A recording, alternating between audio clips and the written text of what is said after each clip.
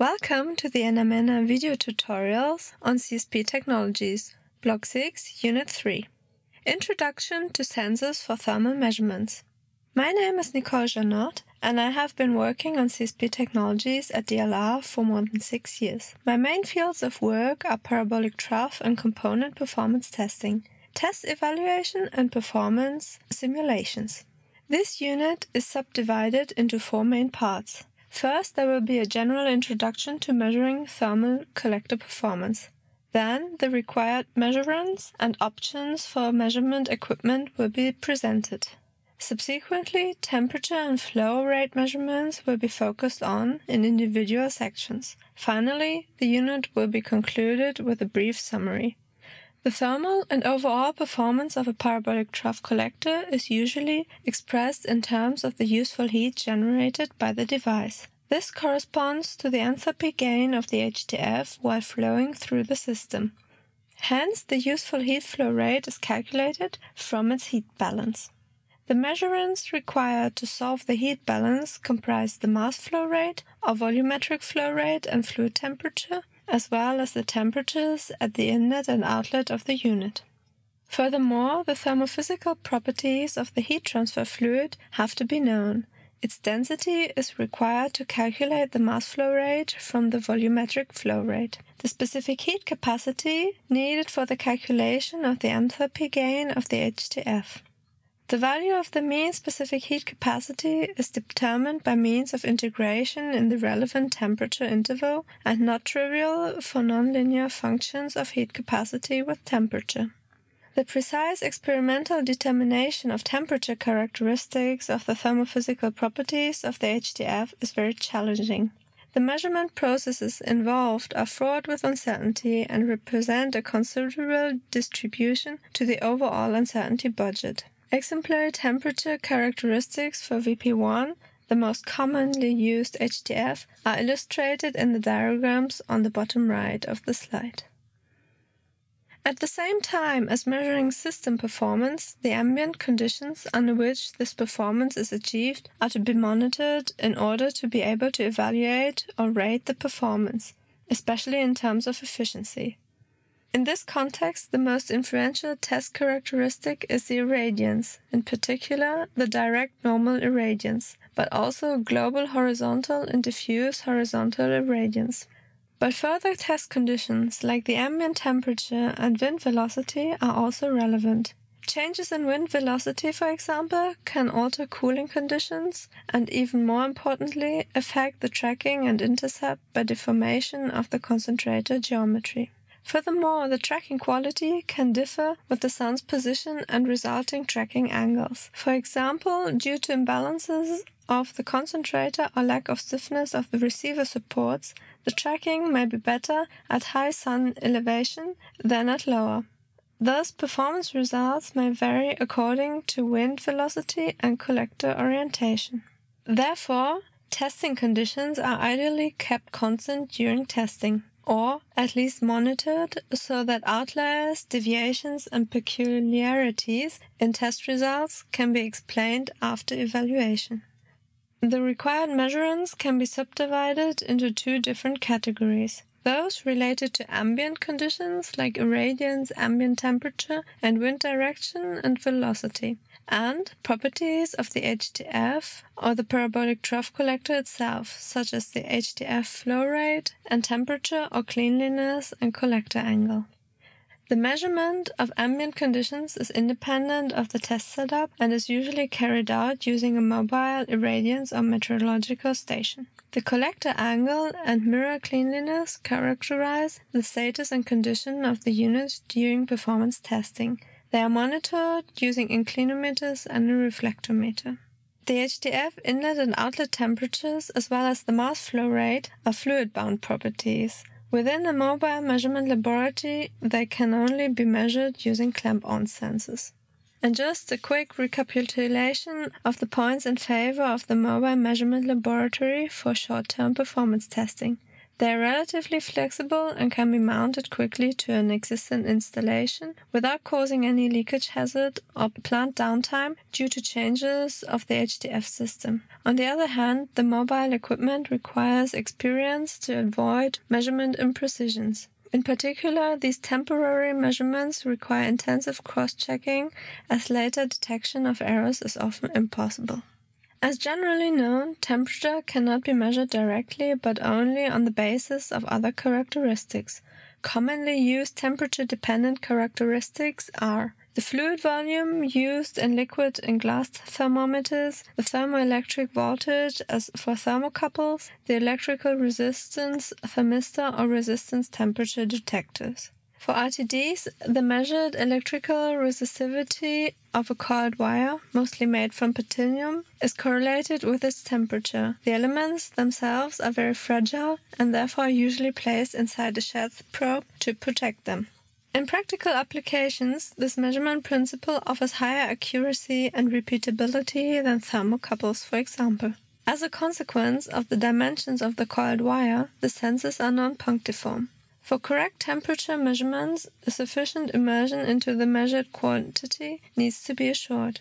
This is to fully cover the sensor and prevent possible influences of the ambient via conduction along the sheath. The response time of RTD sensors depends on the thermal inertia of the sheath or casing protecting the fragile element. PT100 sensors are the most common type of resistance temperature detectors. They consist of a coiled platinum wire with a standard resistance of 100 ohms at 0 degrees centigrade. PT100 sensors exhibit an almost linear characteristic of sensor resistance with temperature as illustrated in the graph on the right. The sensors are further classified according to maximum allowable deviations of the measured temperature. As displayed in the figure on the bottom right, Type B sensors, represented by the green line, have the widest limiting deviation, whereas those of Type A, the red line, are more narrow, representing a higher measurement accuracy. A four-wire connection of the sensor to the evaluation unit eliminates the influence of contact and wiring impedances by separating the current and voltage electrodes. In order to use PT100 sensors for clamp-on temperature measurements, two main requirements need to be fulfilled. First of all, heat-resistant and robust clamp-on installations are needed to fix the sensor to the piping. Besides, a sensor configuration with low measurement uncertainty is to be conceived. Let's have a look at the setup so far. The temperature sensor is clamped to the outside of a hot pipe with hot HTF flow inside. It is in the nature of such a setup that it is prone to actually detect a temperature in between the outer wall temperature of the pipe and the ambient. In order to reduce the influence of the ambient, the setup is to be insulated. However, a temperature difference between the fluid temperature and the sensor temperature will remain. This is due to the temperature difference across the tube wall, the heat transmission from the tube wall to the sensor, and the exposure to the cold ambient. An optimized sensor configuration aims at reducing these perturbations to a minimum. In terms of measurement location, pipe sections in the close vicinity of support structures are to be avoided. Such structures are likely to dissipate heat to the surroundings, which results in reduced and non-representative pipe temperatures. For the improved clamp-on temperature measurements, the PT100s are enclosed in a brass block. The good thermal conductivity of the brass homogenizes the temperature in the close vicinity of the sensor. Metal hose clamps are used to strap the brass block and the sensors to the pipe.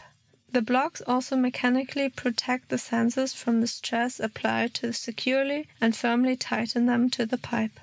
Using high temperature heat conductive paste at the surface in contact enhances the conduction. Furthermore, additional copper shields that are thermally coupled to the pipe are used to decrease the temperature gradient across the sensor and brass block. The effect of the shields is illustrated in the schematic. As shown there, the addition of the copper shields reduces the temperature deviation of clamp-on sensors from built-on ones by half and also reduces the slope of the deviation with temperature.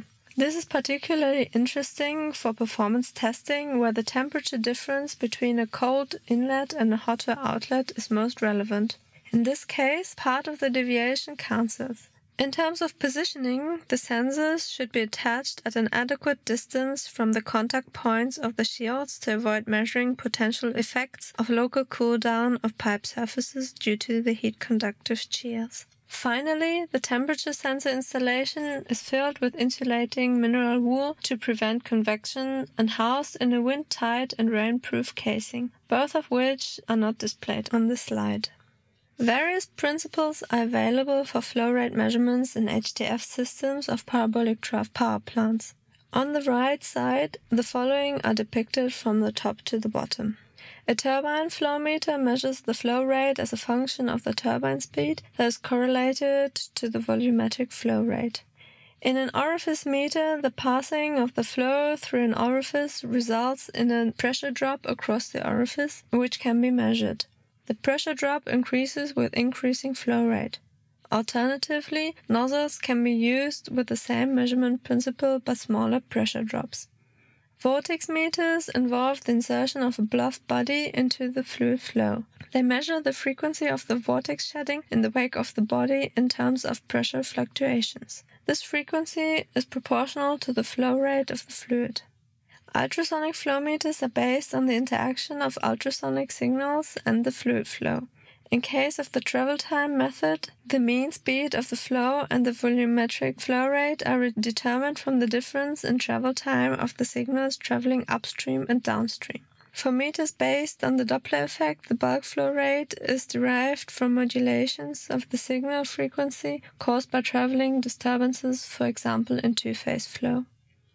All above principles measure the volumetric flow rate, which needs to be converted to mass flow rate using the fluid density from performance evaluation.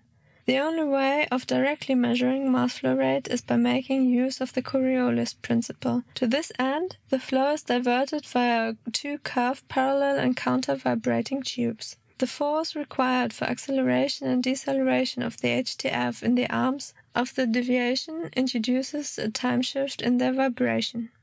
The magnitude of this time shift depends on the mass flow rate. Coriolis meters benefit from very high accuracy and low uncertainty. Of all above principles, only the ultrasonic flow meter is available as a clamp-on version, as ultrasonic signals can be injected through the piping. Ultrasonic flow meters based on the principle of travel time difference require a set of two ultrasonic transducers sending and receiving signals.